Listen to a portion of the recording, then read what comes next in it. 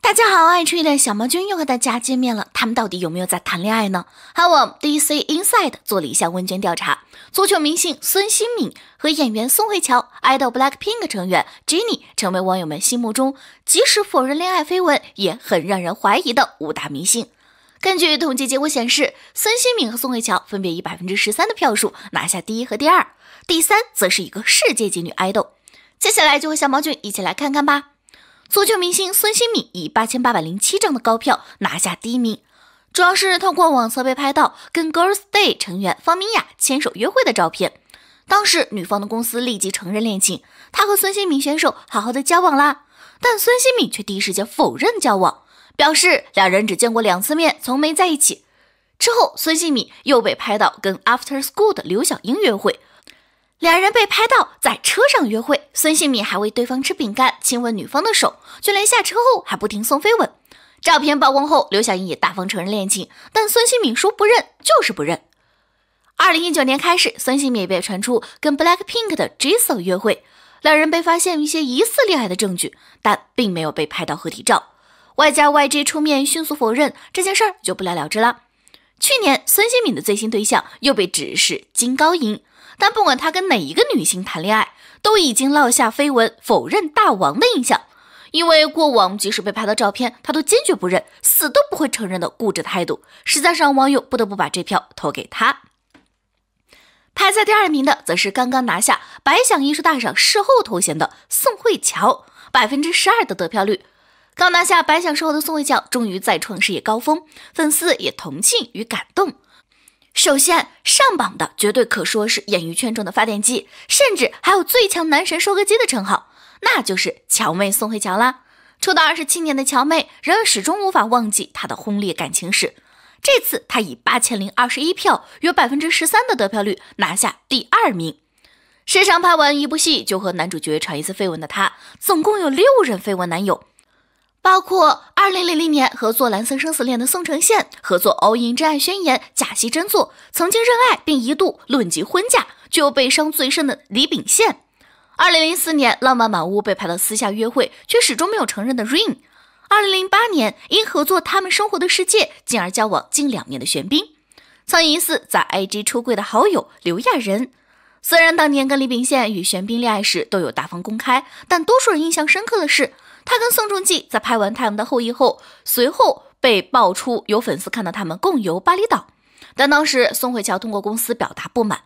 我们没有看过 NBC 的 Section TV 做了什么报道，他们根本不值得花一天的时间去收看。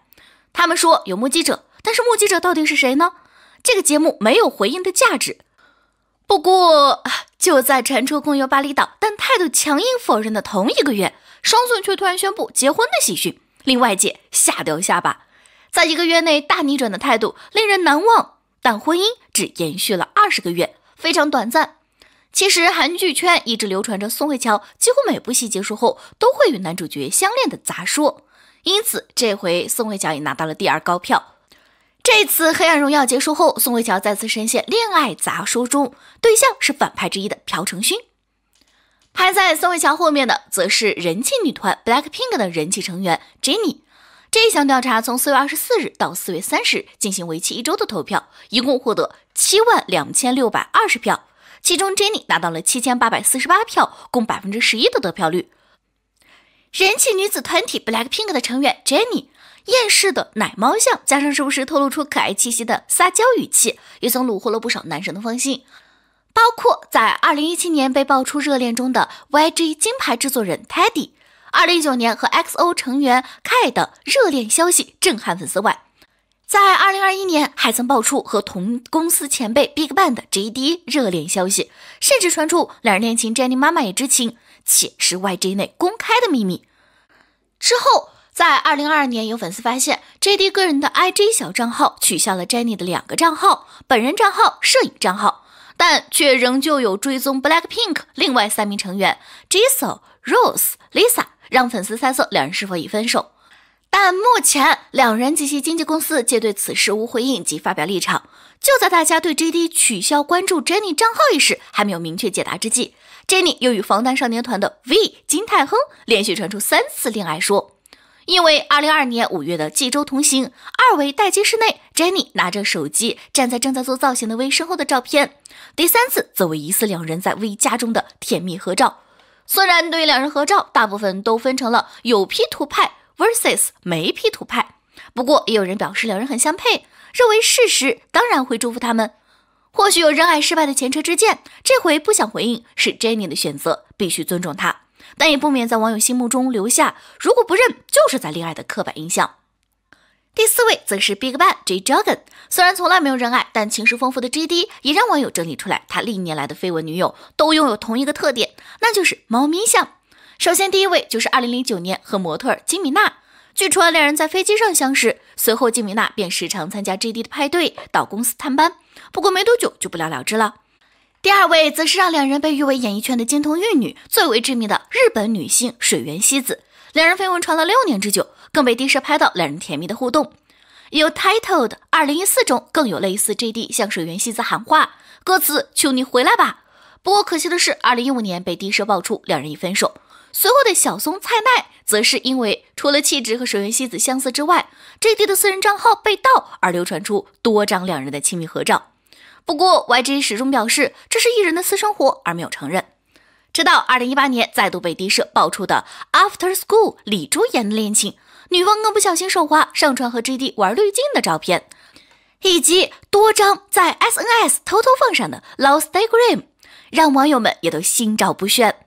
最后，则是二零二一年和师妹 Blackpink 的 Jennie。被爆出，当时 D 社更是表示，两人的恋爱已经是 YG 公开的秘密，手中有不少两人约会的照片。第五位则是姜栋元，姜栋元一九八一年出生于韩国釜山，十九岁时以模特身份出道，二十三岁时便凭借电影《狼的诱惑》成为了无数少女心目中的欧巴。不过，他和大部分韩国花美男不一样，他几乎没有演过最容易吸引人气的韩式浪漫偶像剧。相反，从出道开始，姜东元就一直在电影领域深耕。他曾经主演过的《我们的幸福时光》《田与智》《义兄弟》等作品都收获了不俗的评价。和在电影上的高产量相比，姜东元的情史少得可怜。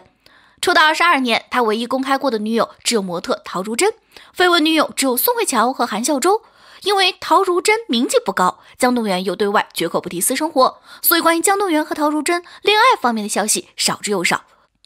唯一可以确定的是，他们是在交往五年后分手，而且分手后还保持着朋友关系。反倒是姜栋元和宋慧乔以及韩孝周的绯闻，引发过无数人课堂。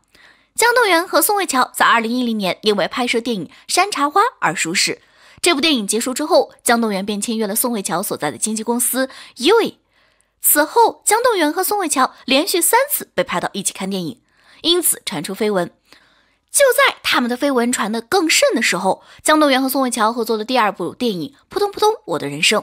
可让人万万没有想到的是，电影还没上映，宋慧乔就惹出了麻烦，电影的票房也因此受到了极大的影响。